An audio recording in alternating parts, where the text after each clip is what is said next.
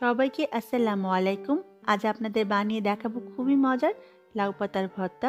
আমার এই রেসিপিতে ভর্তাটা বানালে প্রচণ্ড গরমেও ভর্তাটা নষ্ট হয়ে যাবে না। আশা করি আপনাদের ভালো লাগবে আমার আজকের রেসিপি কথা না বেরিয়ে চলুন জেনে নিই লাউ পাতার ভর্তা বানানোর প্রস্তুত প্রণালী। লাউ পাতার ভর্তা বানানোর জন্য প্রথমে আমাদের লাগবে লাউ পাতা। এখানে আজকে আমি লাউ পাতার ভর্তা বানানোর জন্য এরকম ছোট সাইজের লাউ পাতা নিয়েছি, চল্লিশ থেকে পাঁচচল্লিশটা। আমি খুব ভালো করে ধুয়ে পরিষ্কার করে নিয়েছি। লাউ পাতার ভর্তা বানানোর জন্য আর কী কী উপকরণ লাগবে সেটা ভর্তা বানাতে বানাতে আমরা জেনে নেব। প্রথমে চুলা একটি হাঁড়ি বসিয়ে দিলাম। দিয়ে দিয়েছি এক চা চামচ পরিমাণ সরিষার তেল। সরিষার তেলে ভর্তাটা বানানোর চেষ্টা করবেন, এতে ভর্তার টেস্ট অনেক ভালো আসবে। দিয়ে দিচ্ছি রসুনের কোয়া। এখানে বড় সাইজের একটা রসুনের কোয়া আমি নিয়ে নিয়েছি। কোয়াগুলোকে আমি সামান্য একটু ভেজে নিব। রসুনটা সামান্য একটু ভাজা হয়ে এলে দিয়ে দিব পাঁচ ছয়টা শুকনা মরিচ। এবার দিয়ে দিব চার পাঁচটা কাঁচামরিচ আমি ভেঙে দিচ্ছি। এই ভর্তাতে কাঁচামরিচটা দিলে খেতে অনেক ভালো লাগে। এবার দিয়ে দিব হাফ কাপ পরিমাণ পেঁয়াজ কুচি। এই ভর্তাতে পেঁয়াজের পরিমাণ বেশি ব্যবহার করবেন না। এতে ভর্তাটা খেতে ভালো লাগে না। সবগুলো উপকরণ একসাথে খুব ভালো করে ভেজে নিব আর চুলা আঁচটা কিন্তু মাঝারি থাকবে। রসুনের কোয়াগুলো সিদ্ধ হওয়া পর্যন্ত আমি ভেজে নিয়েছি।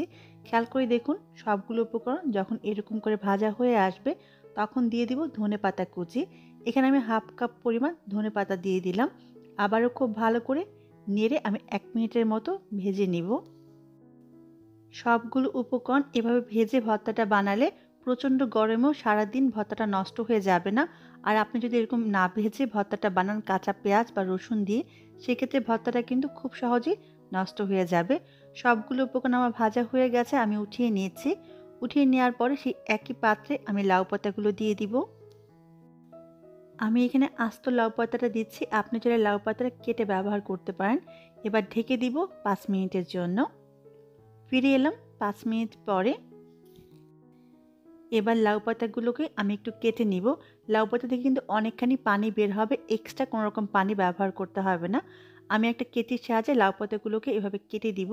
লাউ পাতাগুলো কেটে নিতে নিতেই অনেকখানি পানি বের হয়ে যাবে এবং এই পানিতেই লাউ পাতাটা একেবারে খুব ভালো করে সেদ্ধ হয়ে যাবে। দেখুন, লাউ পাতাগুলো কমে অনেক অল্প হয়ে গেছে আর সেই জন্যই প্রথমে আমি লবণটা ব্যবহার করিনি। প্রথমে লবণটা ব্যবহার করলে কিন্তু বেশি হয়ে যেতে পারে। এবার লাউ পাতাগুলোকে আমি খুব ভালো করে ভেজে নিব। লাউ পাতার গা থেকে যে পানিগুলো বের হয়েছে, সেই পানিটা সম্পূর্ণ শুকিয়ে যাওয়া পর্যন্ত আমি চুলায় রেখে ভেজে নিব।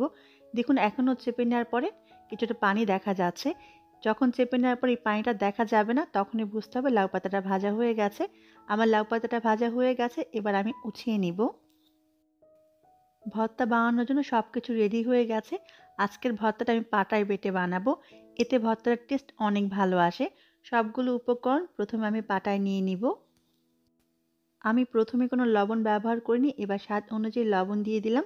এবার পেঁয়াজ আর রসুন মরিচগুলোকে খুব ভালো করে বেটে নিব। খুব ভালো করে আমি রসুন, মরিচ আর পেঁয়াজ বেটে নিয়েছি। এবার লাউ পাতাগুলোকেও আমি এভাবে বেটে নিব। এই ভর্তাটা পাটা বানালে খেতে বেশি ভালো লাগে, তবে আপনি চাইলে ব্লাইন্ডারও বানাতে পারেন। খুব ভালো করে সবগুলো উপকরণ আমার বাটা হয়ে গেছে। এবার দিয়ে দিব এক চা চামচ পরিমাণ সরিষার তেল। এবার হাত দিয়ে খুব ভালো করে সরিষার তেলটা ভর্তার সাথে মেখে নিব। বাস, তৈরি হয়ে গেল খুবই মজার লাউ পাতার ভর্তা। অবশ্যই বাসায় বানাবেন আর আমার কমেন্ট বক্সে জানাবেন কেমন হলো। এবার গরম ভাতের সাথে পরিবেশন করুন, খুবই মজার লাউ পাতার ভর্তা। সবাই অনেক ভালো থাকবেন, আমার জন্য দোয়া করবেন। আবারও দেখা হবে আর আমার চ্যানেলকে সাবস্ক্রাইব করতে ভুলে যাবেন না। আল্লাহ হাফিজ।